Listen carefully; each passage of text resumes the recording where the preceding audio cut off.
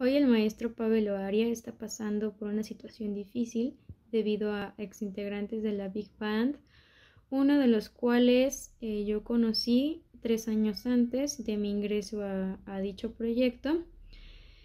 Esta persona pues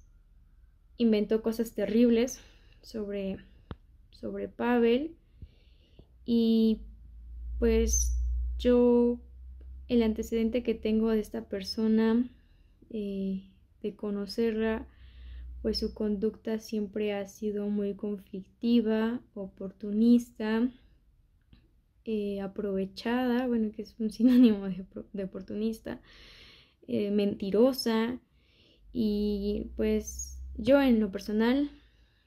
siempre tuve cierta distancia porque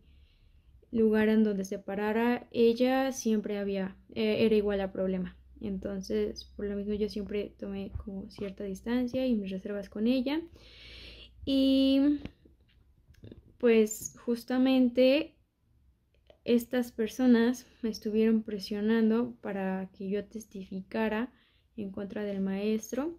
eh, que hablara mal de él e inventara cosas que pues, realmente no son ciertas porque estoy segura de que si hubiesen sido ciertas no me estuvieran presionando para que yo quisiera denunciar algo falso